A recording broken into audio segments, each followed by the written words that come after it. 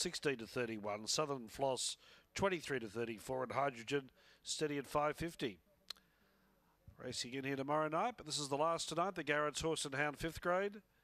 And we're just about set to go. Last of the Greyhounds being placed away. Mark's memory now 240 the tote.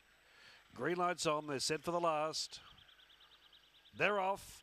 Mark's memory off the inside, got a good start, bursts through and takes the lead. In second spot was Akadaka, railing through was Little Ramona coming of this leader pretty strongly now. Then Spring Crusher, a gap in the field, Southern Floss. Well back was Wiggle, and then came Fire Gallant Hydrogen as last. In the straight though, driving to the lead was Little Ramona, pulled right away and won. Second was Southern Floss. Third, Wiggle, I'd say, flashing home. Not far away were Fire Gallant Hydrogen. Mark's memory pulling up quickly towards the tail with Akadaka and Spring Crusher in 23 and 10.